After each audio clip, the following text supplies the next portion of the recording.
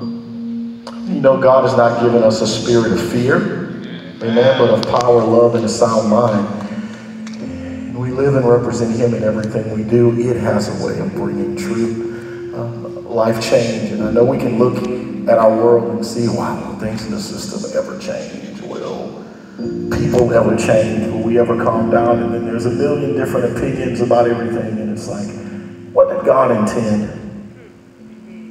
For true freedom and unity and harmony to look like. Hmm. I believe that Christ accomplished that on the cross, and there's no way possible for us to attain to that with applying the cross the way that He intended.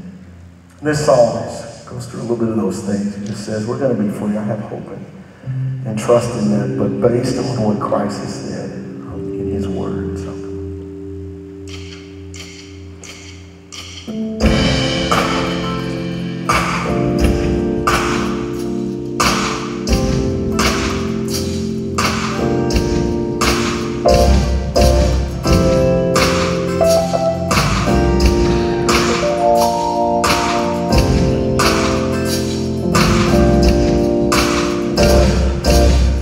things I stole in the beginning Craziness confirmed When everybody's looking for an answer Looking at Lend a hand to a friend When you think that you've gone Go so far to tell you that you're wrong. Yeah. To the world